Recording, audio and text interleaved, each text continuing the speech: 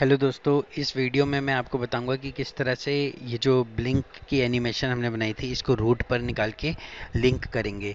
क्योंकि इसको भी एनिमेट करना तो इम्पोर्टेंट है ही, और इसको ऑटोमेट करना भी बहुत इम्पोर्टेंट है।